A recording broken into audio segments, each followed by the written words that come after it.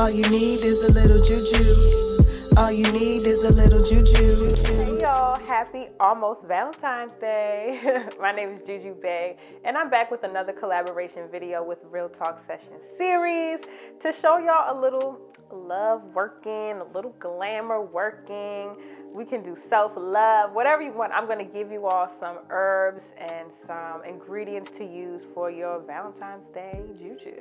I'm going to go through a few herbs that I think are relevant to this holiday. And then we'll go through a quick little jar working that you can use and pray over and bring some good, loving, or whatever kind of energy you want into your life.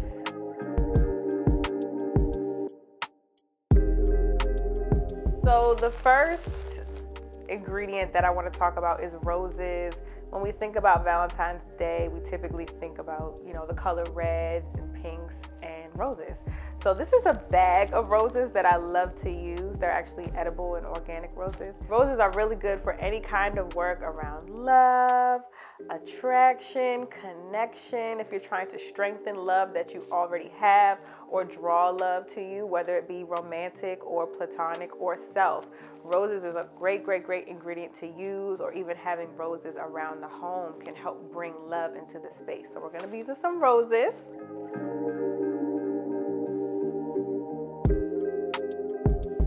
The next herb that's really, really good for Valentine's Day is catnip. So this is catnip. Yes, it is the same catnip that you would use if you have a cat.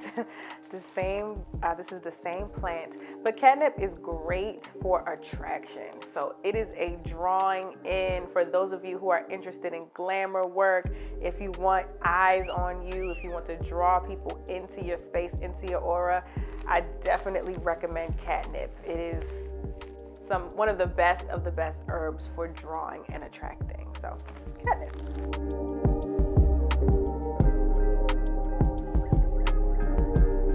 Next Valentine's Day herb we're to cover is rosemary. So, rosemary is good, particularly for women, and femme identified people, to be able to dominate the situation, to be able to find your inner strength, to really bring out that inner femininity or whatever it is that you want to call it. It can be used for anybody, but particularly I find that women uh, do very well with rosemary.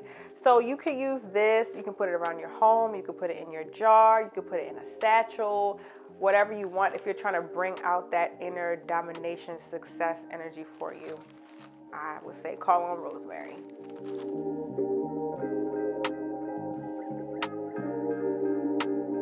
Okay, so this is horny goat weed. And just like the name sounds with horny goat, this is good if you're trying to spice up or bring some sexual energy into your life, if you wanted to enhance sexual energy between you and a partner or bring in someone who has equal stamina as you or if you just want a good sex partner i would say get, get your hands on some horny goat weed and add that to your working for some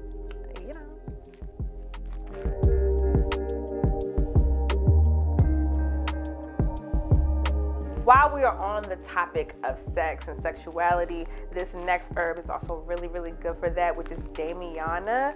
Damiana is traditionally used and has traditionally been used as an aphrodisiac. So, Damiana is also really good for sex, sexuality, attracting people with similar sex drives, very similar to horny goat weed. But I find that Damiana is it's not just a sexual energy that comes with this particular plant as horny goat weed. I think people use Damiana also for just attracting generally, but it does have a lot of sex and sex like qualities to it.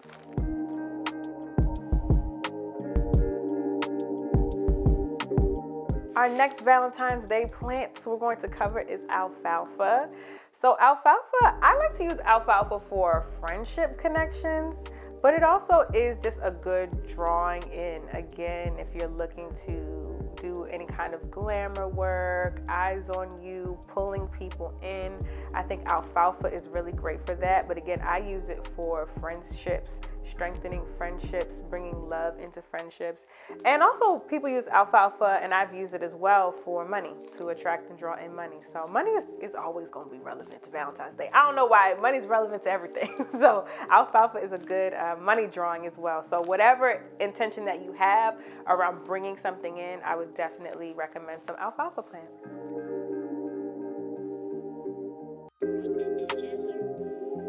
Honorable mention honey. Honey is a slow moving ingredient, but it moves nonetheless. Honey is sweet, as we know. So, if you're trying to bring some sweetness into your life, some self love sweetness for yourself, some sweetness in your relationships with people, family, friends, you can always add some honey into your jar working or whatever working that you're doing to bring that slow and steady connection and sweetness into your life.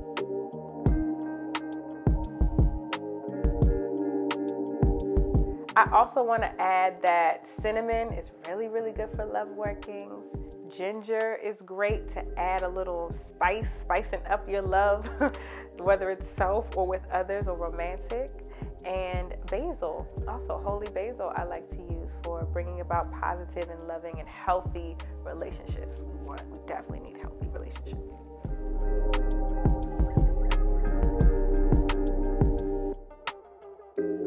So I'm to show you all a quick jar working. I've been referencing jars the whole time. So jars is just a way to contain your your intention. It's, it's a holder of your intention and you will work your jar as much as you see fit. What I mean by working is praying over it, using it, talking to it, and making sure that the thing that you want comes about. So that, that is how that's what I mean by working a jar. So in my particular jar, I'm going to do a self-love working today because I just want to, you know, work on my confidence, feel better about myself and feel attractive to me.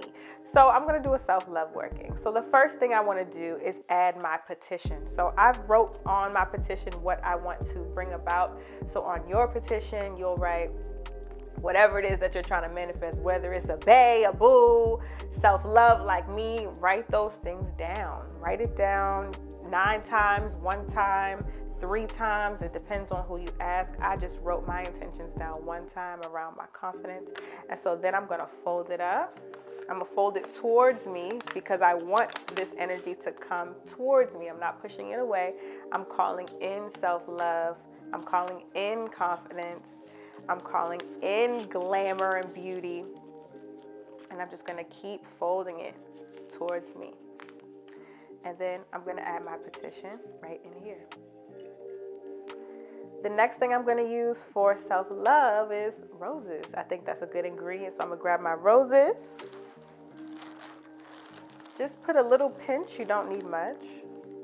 And I'm going to talk to the roses, say to bring me love in my life, self love, positive and loving self esteem and relationships, a healthy relationship to myself, full of love and happiness.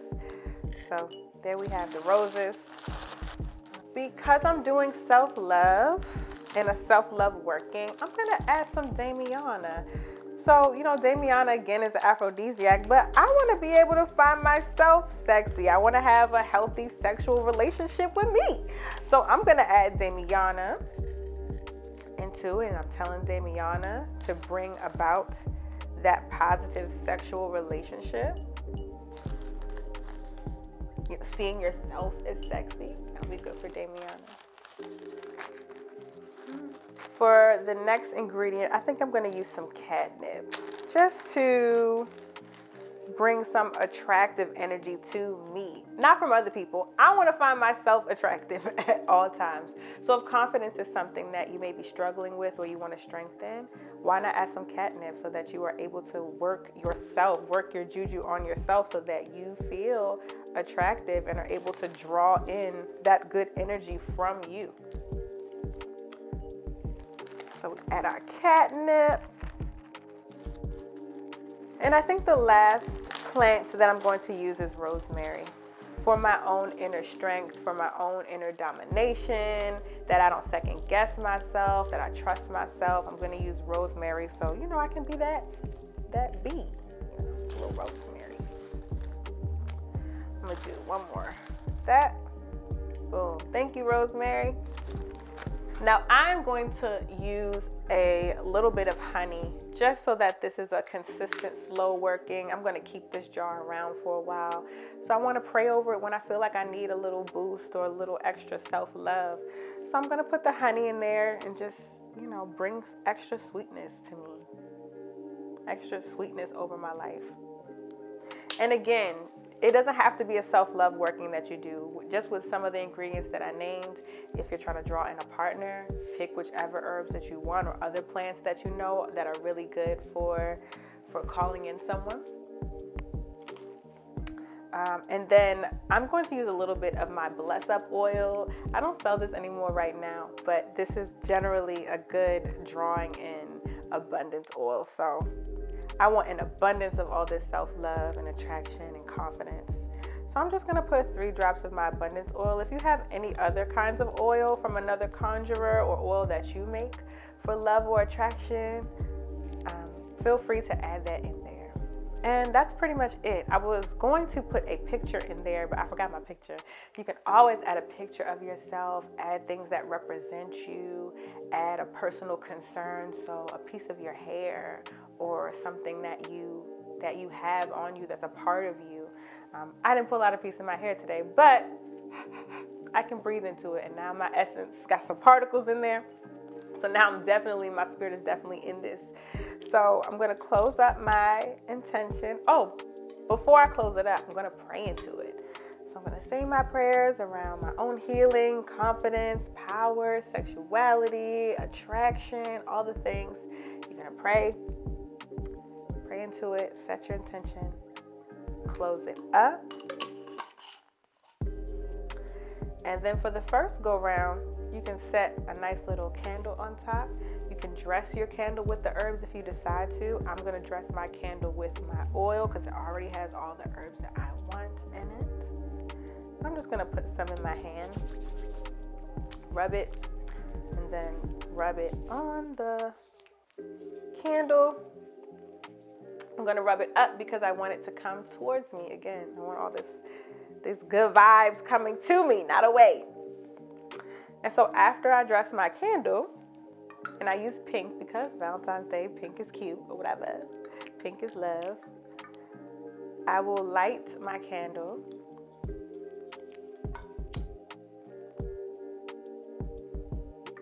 Set it on top.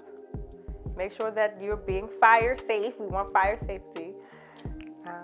And then that's it. Now you can continue to pray over it, continue to speak your intentions into it, continue to call in whatever your intention is around love and connection.